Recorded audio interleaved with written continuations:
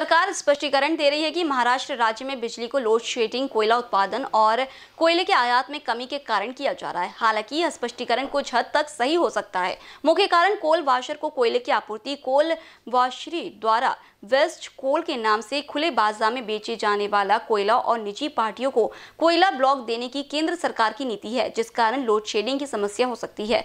ऐसा आयोजित पत्र परिषद दौरान प्रशांत पवार द्वारा कहा गया है। बिजली की कमी सरकार द्वारा बनाई गई है और यह आम आदमी को प्रभावित कर रही है। राज्य सरकार और केंद्र सरकार औद्योगिक कारखानों और अन्य व्यावसायिक गतिविधियों को बंद करके कोयले के माध्यम से अरबों रुपए की लूट कर रही है।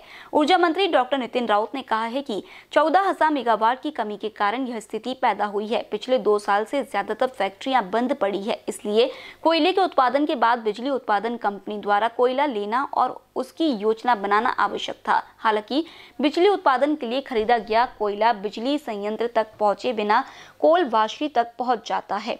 जिसमें से हमारे 15 प्रतिशत कोयले को खुले बाज़ार में बेकार कोयले के रूप में बेचा जा रहा है।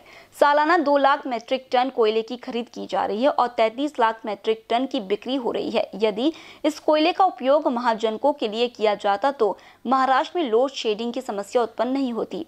हा, साठ हज़ार टन कोळसा ह्या महानिर्मितीचे managing director Khandare director mining Purushottam Jadhav यांना या कोल वाशरीच्या माध्यमातून जे मी नेहमी म्हणून राहिलो की हा रिजेक्ट कोल जे विकून राहिले मार्केटमध्ये हा त्याच्याकरता आहे. आणि जबाबदारीने सांगतो की बावनकुळे साहेबांनाही आज मला मी ऐकलं की हे शासन निर्मिती आहे निर्मित आहे वगैरे.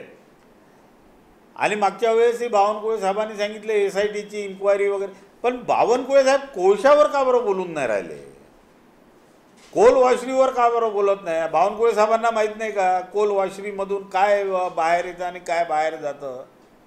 ते हा मुद्दा सोडून बाकी मुद्द्यावर चांगलं बोलू शकतात. एकदा जर त्यांचं खरंच त्याच्यामध्ये इन्व्हॉल्वमेंट नसेल तर बावनकुळे साहेब माझ्याबरोबर उपोषणाला बसायला पाहिजे की उद्यापासून कोल वाशरी बंद व्हायला पाहिजे. जय जवान, जय किसान संगठन की ओर से बीते पिछले दो साल से इस मुद्दे को मीडिया के समक्ष रखने के बावजूद सरकार की ओर से किसी तरह की पहल नहीं की गई, ऐसा प्रशांत पवार द्वारा पत्र परिषद में कहा गया है।